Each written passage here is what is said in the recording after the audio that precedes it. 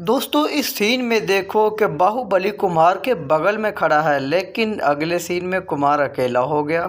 ये तो बड़े सोचने वाली बात है, यार, इतनी बड़ी गलती। और यार, इसने तो बुढ़िया से ही लव कर लिया। कुछ सोचो यार।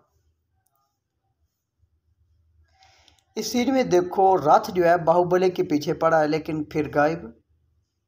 जब पीछे मुड़कर देखते हैं तो फिर रथ आ गया। अरे, ये तो इतने इतने दूर हैं, लेकिन इतना जल्दी करीब कैसे आ गए? अरे भाई, देखो, तलवार जो है बाई तरफ़ थी बगल की, लेकिन दाई तरफ़ कैसे चली गई?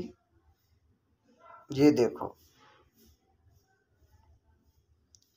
दाई तरफ़ तलवार चली गई थी तो यहाँ पर देखो, रस्से के साथ लटक कर आया, लेकिन वापस जाते हुए रस्सा गायब है। अरे भाई, तीर तो पहले तीनों को लगे थे, लेकिन पीछे वाले कैसे गिर गए?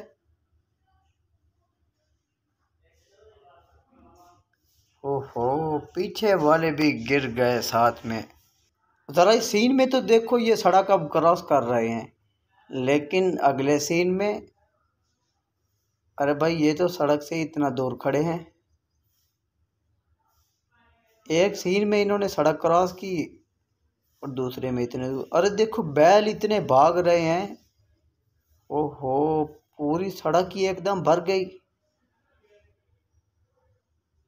लेकिन पूरे गाँव में बैल कितने हैं? अब ये देख लें। यहाँ पर आप देखें, बाहुबली के बगल में इतना बड़े हथियार, लेकिन वो छोटे से क्यों लड़ रहे हैं? आप देखें छलांग लगाते हुए हाथ में कुलाड़ी लेकिन अब गायब हो गई।